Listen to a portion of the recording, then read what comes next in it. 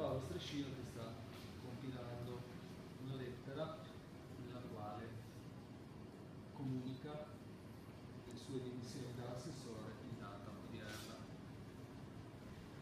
che credo siano irrevocabili, almeno quello mi è parso di capire. Ma adesso dico due cose, perché molto si è detto, molto si è scritto, capisco che i